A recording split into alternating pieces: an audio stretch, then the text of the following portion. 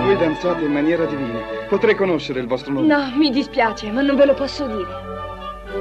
Vorrei tanto fuggire con voi questa notte.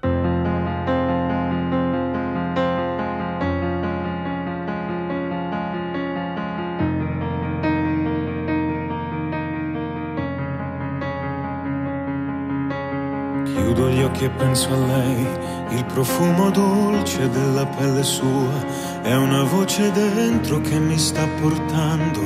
Dove nasce il sole.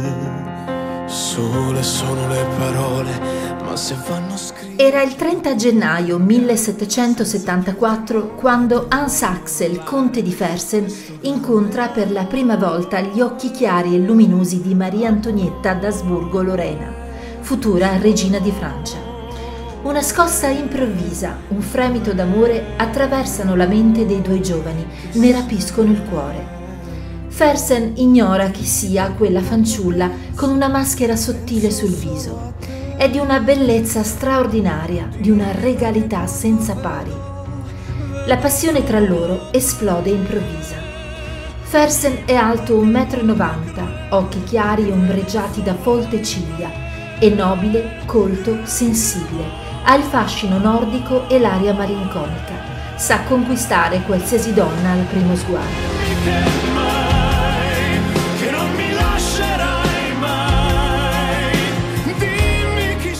Maria Antonietta se ne innamora perdutamente. Maestra.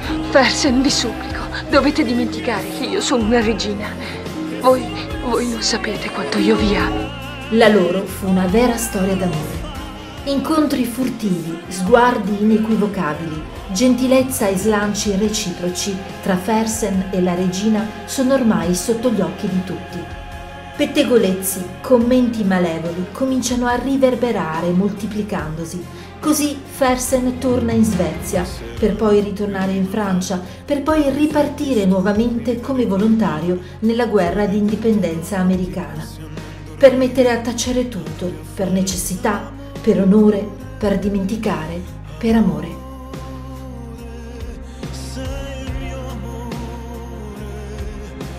Voi qui, è una gioia rivedervi. È una grande gioia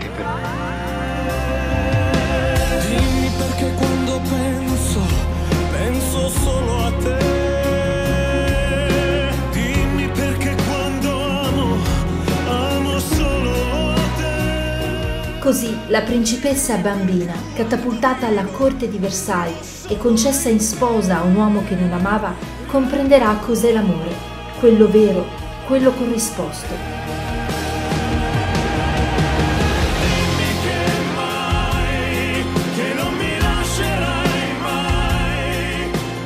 Sono tornato per morire per voi, se è necessario. Farò di tutto per proteggervi da chi non è capace di amarvi.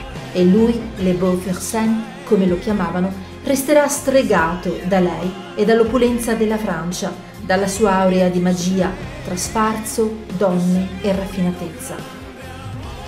Ma Fersen tornerà, perché al cuore non si comanda, perché non si resiste al richiamo delle sirene, e Maria Antonietta è la sua sirena, l'unica donna che, fra le tante, abbia mai veramente amato.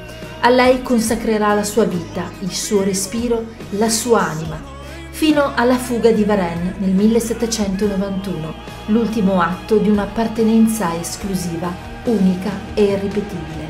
Scriveva Maria Antonietta al suo amato nel 1791. Non siate turbato, non mi succederà nulla. State calmo se potete.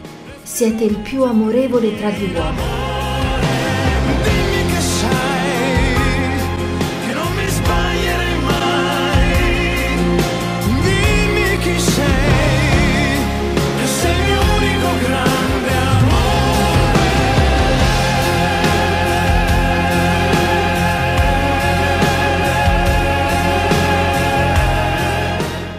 Abbiate cura di voi stesso.